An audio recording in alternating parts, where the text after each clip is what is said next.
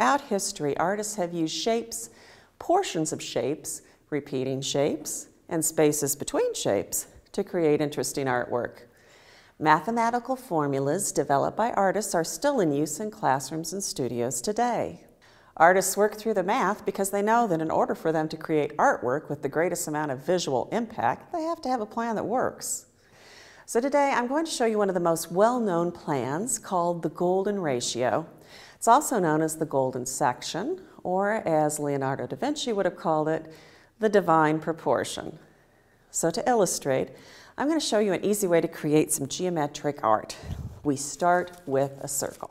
So if you're working with younger mathematicians, just arranging circles or, or half circles even onto a piece of paper is going to create some interesting overlapping shapes. And of course, when you start putting them on top of each other like this, you'll get new colors too.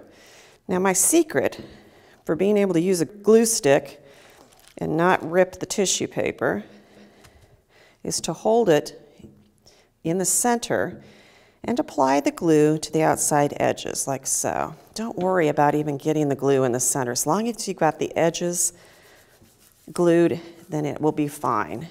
Okay, but if you're working with some mid-level mathematicians, it can get a little more complicated. They can cut the circles into fourths and create some repeating patterns. You can see from this sample artwork over here that the lines that are overlapping from the sectors, the edges of the sectors, are creating things like squares and rectangles, triangles, and some interesting polygons through here too. Students who've moved on into geometry will find themselves capable of creating a variety of angles and shapes in their designs. Let's look at some of the angles. Right here, you can see we've got lots of right angles in our work. Uh, this right here, and of course along the edges of the sectors, we see some acute triangles. And then look over here. We've got some obtuse angles being created. I also would like to point out the use of repeating patterns, complementary color schemes. You know, it's really a lot more than just putting tissue paper on paper. All right, now let's talk about composition. For the younger mathematicians, it's very easy to find the center of the grid, either by measuring from the edges of the paper or simply counting some of the squares. And from the center point, then they can build a design that kind of radiates and comes out from there. So that's fairly easy. But if you want to truly challenge your students to use math and art together, take a look at the golden ratio.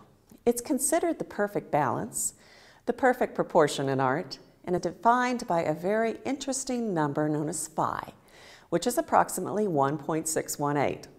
The ancient Greeks used it when they were building the Parthenon, but it first began taught as a tool for composition and design during the Renaissance. So to find the golden ratio, first of all, let's look at the length of our paper, which in this case is going to be 11 inches, and divide it by phi, which you remember I said was 1.618, so that we will have two sections. The ratio of the larger section to the whole page is equal to the ratio of the smaller section to the larger section. As a math formula, it looks like this. So to find A, divide 11 inches by phi. With a little rounding, you get 6.75.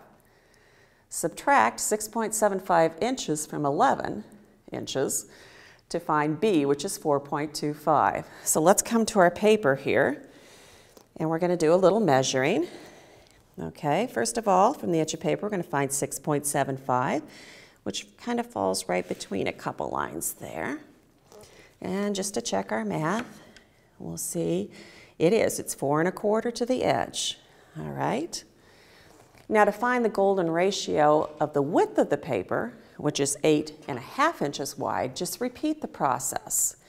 I get 5.25 inches and 3.25 inches. So let's measure that. So there we have a paper divided into the golden ratio. Now it can be rotated in any direction. including 180 degrees, and we could create the ratio from this side of the paper as well. Okay, so here's an example of artwork that's built from the golden ratio. I think that it really helps to define the edges of the shapes that are built. You can use a ruler, a pencil, a marker, even a crayon.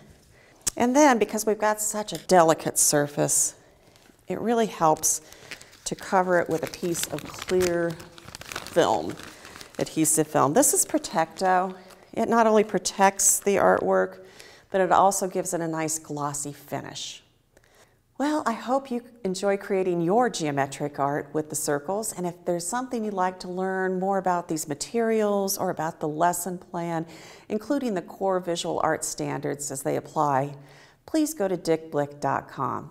Thank you very much for joining me today.